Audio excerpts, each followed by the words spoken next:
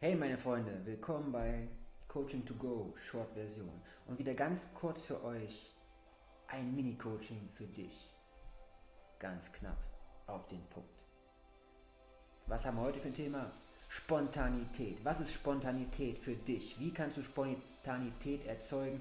Was passiert, wenn du auf einmal dazu getrieben wirst, etwas spontan zu tun? Was ist, wenn dir dann Fehler passieren, wenn du dich verhaspelst, wenn du nicht mehr sprechen kannst? Was passiert dann in diesem spontanen Moment? Du machst dein Ding. Einfach das, was du die ganze Zeit schon trainiert hast, was du immer schon dein ganzes Leben lang angewendet hast, kommt dann zum Vorschein.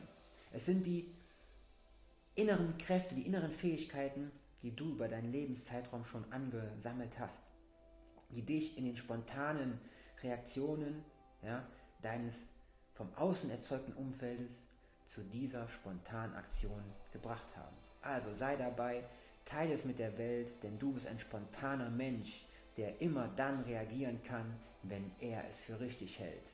Also nutze den Moment. Bis dann, dein Dennis. Viel Spaß, teilen, liken, lieben, leben und kommentieren. Und wir sehen uns beim nächsten Short. Einfach mal da schauen. Bis dann, dein Dennis. Ciao, ciao. Yeah, so geht das, ne? Genau und kommt einfach mal in Kontakt. Ja, der Persönlichkeitsstammtisch gibt es auch noch. Bis dann. Daumen hoch für alle zusammen, ne? Ja.